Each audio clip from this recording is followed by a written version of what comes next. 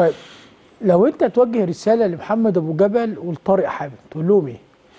آه، يعني يعني إن هم يفضلوا في نادي الزمالك أنا يعني أنا بيتهيألي هم بقائهم في نادي الزمالك أفضل ليهم وأفضل لنادي الزمالك يعني. يعني الاثنين لعيبة كبار.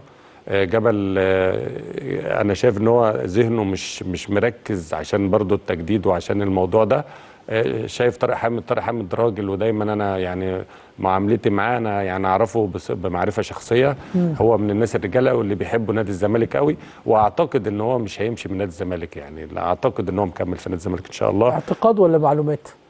يعني يعني كده وكده يعني. كده وكده. آه فأنا يعني طارق حامد من الناس الرجالة واللي أنا بتمنى إن أنا أشوفهم في نادي الزمالك وفي وسط ملعب نادي الزمالك على طول.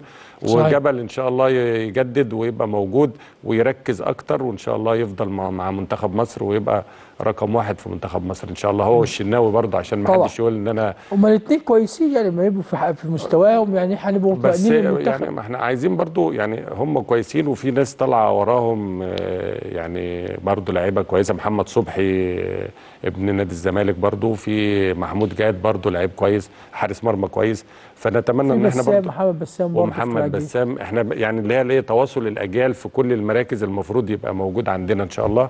آه وأتمنى إن شاء الله آه، رسالة لأبو جبل وللكابتن طارق حامد.